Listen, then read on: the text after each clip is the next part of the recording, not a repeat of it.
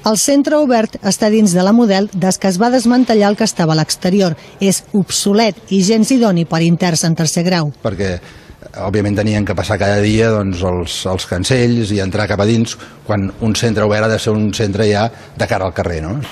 Però avui ja és història. Hem parlat amb l'intern que ha estat l'últim a marxar. Esta semana han salido 15, han salido 10, 20 y nos han ido dejando un poquito. Ayer estábamos solo 8 personas aquí. Abans, però, ho ha netejat tot. Aquesta era la seva feina a la model quan entrava cada tarda a dormir, a més de preparar el sopar i l'esmorzar. I ara Voy a estar otros más currículum y si no, a ver si encuentro otra vez trabajo aquí, hasta que encuentre un trabajito. ell i tots els interns d'aquest centre obert estaran temporalment al de Trinitat, fins que es construeixi el nou a la zona franca. La cinquena i sisena galeria i els centres psiquiàtric i geriàtric de la model ja estan tancats. Avui queden 390 presos.